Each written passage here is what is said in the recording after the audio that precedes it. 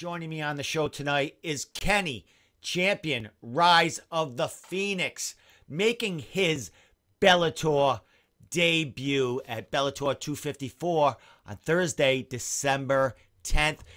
Kenny, man, finally, finally, not only did you get a fight, but you got a fight for Bellator, man. Congratulations. How you feeling about the opportunity, buddy? Thank you, man. Uh, we here we here. That, that, that, that's all I can say about that, man. Um, I'm excited. You know, uh, I think I've been working my uh, whole entire career for these for these big moments. Um, uh, Bellator is a, is a big stage for me. Uh, I've been on the local scene for a minute, and um, I'm, I think I'm ready to, you know, make my statement. You know, I'm ready. I'm, I'm ready for the big show.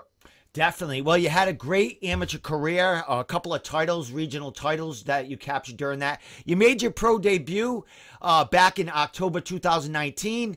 First round KO, 38 seconds. You come back for Premier, making your second fight for them. Another first round finish. That's in February. Then the whole world shuts down. Kenny, you're on a roll. You get two fights right in real quick. We're starting off with a bang, and boom man, what? How'd you feel about that? Just like the the rug kind of be being pulled out from under you because. I mean, you were ready. I'm sure you were looking for a card right away, right, right around March or April, man. How'd you feel about it? Um, yeah, man, I felt, you know, that I was, I was on a roll. Um, and then when, you know, the world shut down, it was like, you know, uh, what, what, what's going on with the, with, with the future of the sport, you know, um, and I think it kind of like threw everybody back. You know, um, it threw everybody in a limbo. Uh, gym stopped. Uh, you know, um, people were stuck at home, and uh, in between it, you ha- you try to have to find somewhere to uh, to uh, find some type of moment in between of uh, what's next. You know, um, so that was that was like a big deal for me. I didn't know it was next for for a long time, but um, I know me uh, with myself, you know, I, I felt that I wanted to keep on training and um, keeping myself active. So I kind of I kind of did that uh, during the COVID uh, time. It didn't my, my training didn't really stop because I always uh, had this thing where you know even if I wasn't at the gym, I would go run or I would just you know do something personally for myself because this this is a lifestyle. You know, you know what I'm saying? Is is a lifestyle. It's not just um, just you know just the MMA fighting thing. You know, mixed martial arts is a, is a lifestyle for me. So it was something that I always um, kept in mind. You know, trying to visualize things. You know, um, and then you know just still um, keeping my body active, keeping my body in shape. So yeah. Well, watching you through the COVID and uh, you know training, you were doing a lot of stuff outside. Uh, training outside. I saw you, you know, teaming up. I saw your coach out, coach out there. Some new faces, some old faces. So, uh, you were really doing it and you were working really hard. You were still looking for, hoping for a fight when they came aboard. Uh, I know you were looking for some regional action. Uh, was there any, um, was there anyone interested? Did you did you have any play at all regionally or around the circuit and, eh, and to get another fight when fighting started again? Uh, nah, man. That was probably the I would say it was the most frustrating part about it because there was nothing on a regional scene. Uh, you know, a lot of the uh, the local scenes that were giving guys like us um, platforms to be able to, you know, showcase our talent on, um, weren't getting a clearance to be able to have guys out there, you know, um, showcase their talent. You know, I wouldn't even say even the guys in the amateur. You know, it's kind of like it, it's kind of like bleak. You know, where do you where do you go from there? A lot of amateur guys, you know, just making the, the, the, the, pro jump now because of you know the whole COVID thing. And um, me it was just getting frustrated. And I didn't want to you know um, all my training just to be going going to waste. But I knew that you know um, you know kind of kind of talking things into existence for myself. You know I always my my my, my word is you know um, I'm coming for the world to see. So I, I kind of always say that but um, something in, in, me just you know just kept on training, man. Just kept keeping myself active out there. Um, whether it was uh, when the COVID finally got lifted, a few of us, you know, uh, got together, started doing some pad work. You know, like you said, some old guys, some new guys. We, you know, we kept doing, you know, doing pad work here and there, and I even um, started getting clients and people that I would even help, you know, work on their their, you know, conditioning during the COVID time because you know everybody was laid up, putting on that putting on that extra weight or whatever like that. So um, by helping people and seeing people develop, it was also helping me um, visualize things and um, yeah, I just stay active, man. I just try to stay active as much as possible, even even though some of my uh, training partners wasn't as active, uh, other people wasn't active. Just me, I do this for myself. You know, I do this for myself. Uh, far as uh, um, just keeping my body healthy. You know, um, and just and, and just training and, and, and working out um, daily on a daily basis and also going out to just to help people out too, man. So that was a big deal for me. Um, actually seeing people uh, develop uh, Muay Thai skills. So it was good, man. Excellent. Well, you came out of COVID. I mean, you didn't get a fight until now, but you came out. Seemed like you learned some positive things.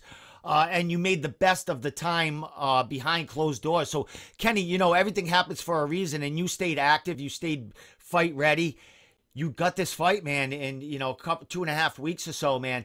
Bellator came calling, and you're fighting Cody Law, man. Uh, he seems to be one of their their prospects, a young 25 year old wrestler. Uh, made the, his pro debut for them, uh, I do believe, a card or so ago. You know, maybe about four weeks ago, man. How you feeling about fighting a, a guy they're probably high on and uh, spoiling the party for this kid? Well, um, again, I think uh, we probably had this conversation before, but um, to me, uh, he, he he's just another another uh, fighter. You know, um, somebody else that's in my way.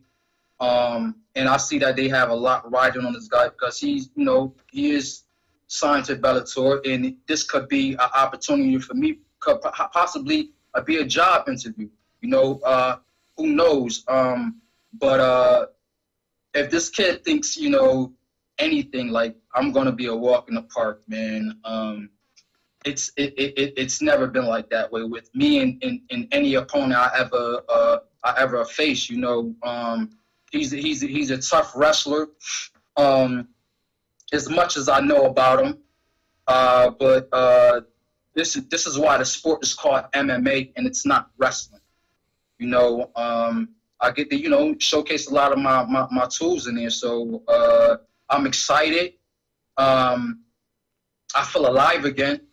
You know, um, it, it, it, is, it's giving me that that feeling back, you know, um, when you get all these emotions, uh, and I'm, I'm, I'm, I'm starting to feel it, and, and, and it's, not, it's a alive feeling. You know, um, you get all the, the anxieties, the, the, the anticipations, the nervousness. You you get all of that, and um, it makes you feel alive. You know, it, it, it makes me feel alive, and I'm I'm I'm ready to go. Um, I I haven't had the, the longest training camp that I wanted, you know, but uh, hey, man, um, this is an opportunity. They don't they don't come often, and um, let's go. Mine, mine, mine, brother. Mine, mine, mine, mine. you know, you know the vibes, man. oh, my you man. vibes, man. You don't have to travel, which is great, man. It's right in your backyard, basically. Uh, Mohegan Sun. I don't know if you ever fought there. I know you've been, uh, you know, you fought at the big places in Connecticut, man. How you feeling about hitting Mohegan Sun? There's going to be no crowd there, brother, but you're going to be on YouTube, I imagine, and uh, you know everyone's going to be able to celebrate and see you make that Bellator debut. How you feeling about uh, being able to do it at Mohegan Sun? Hey, man, it's an awesome feeling, man. Um, regardless of what, Mohegan is not in my backyard, but it is in my backyard it's close. It's still closer to home, and um, you know, uh, my people will be on YouTube to uh, watch me um, get up there and perform on a, on a huge stage. And um, you know, like again, like I said, man, uh, I was I was I was meant for these moments. You know what I'm saying? Um, through through through my whole entire career, I've I, I've been doubted. You know, and I, I and I always persevered. You know, I came back time and time again, and um, I'm ready I'm ready. I'm ready to go on in. Um, and uh, I think this guy is going to be very, very surprised of um, of my movement, my striking, and my athleticism. So um, he can go in and uh, be a head crotcher all he want, but uh, uh, you know this is not wrestling, man. This is this is not wrestling. Excellent. Um, who's who's been helping you get ready? I mean, not particularly just for this fight, uh, but who you've been training with regularly, and actually you must be, uh, you know, calling on some people to to get, you know, the next two weeks some uh, reps in. Uh, who's who's been helping you out? Well, I have had a few guys um, helping me out. Uh, Will Smith, one of the guys, he's a he's a Bellator fighter. Um, I also been going to um, Underdog MMA, working out with those guys out there. Um, Justin Valentine, uh, um, also Matt Bissett, uh, a few guys out there that's been um, help, helping me out. And, and, Tony, you know, a lot of those guys been um, helping me uh, get ready, you know, um, constantly, you know. Um, so yeah, got a few guys. And, and also also at Roman BJJ, man, I can't forget uh, there, man. Uh, the coaches there, they've been helping me a lot with uh, my ground game and stuff like that. So yeah, man, we just, I'm ready, man. Excellent, my man. Well, before I let you go, give shout outs and everything else, my man. Um, you know, what do we expect to see out of Kenny Champion, Rise of the Phoenix, for his third, third professional fight and making his Bellator debut? Uh, you're looking to see fireworks, man. Um, I'm coming out there to finish, you know, um, and get his guy and get his guy a tough fight. Man, he never fought a fighter like me. You know what I'm saying? Um, my movement is different. I think he'll be very surprised in that. And um, you know, I'm coming. I'm looking for a victory. You know, I'm not looking for nothing less. You know what I'm saying? And it's, and it's going to be a battle from from start to finish. It's going to be a battle from start to finish. You know what I'm saying? Excellent, my man. Well, congratulations, my man, coming out of COVID and uh, getting a huge, huge opportunity here, fighting Cody Law at Bellator 254 on December 10th, man. A Thursday night but it don't matter, man. We'll all be sitting up close to that TV watching you, man. Uh, last thing, shout outs. Anyone you want to say special uh, shout out to social media, buddy, because we've still got a couple of more weeks to watch you prepare for this fight, man. Yeah, man. Um, I want to shout out uh, my school, uh, Golden Falcon. I want to shout out my coaches. I want to shout out um, Ronin BJJ. Uh, I want to shout out all my training partners that have been helping me. I want to shout out Underdog. MMA from out there helping me um, getting prepared for this fight. Um, Matt Bissett and them guys.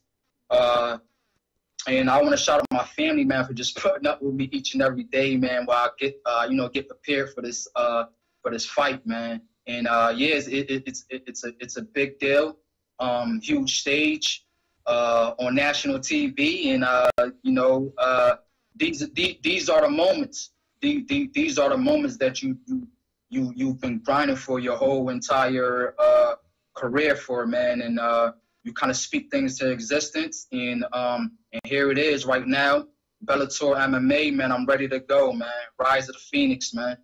Excellent. Well, Mr. My My Mind, Kenny Champion, man, ready to make that debut.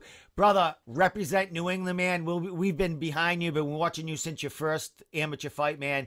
And uh, yeah, we're excited for you, brother. Bring it home, man, and uh, make us proud of you. Thank you very much, man. I'm not part of the New England cartel, but I. I got you, man. Hey, you have a good night, brother, and uh, we'll see you in a couple of weeks. Bellator 254, man.